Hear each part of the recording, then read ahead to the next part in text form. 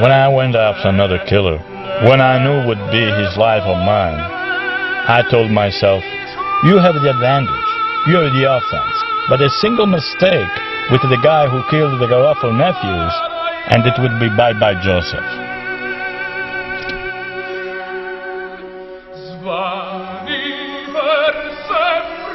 Now charged with excitement and determination, I could not consider turning back.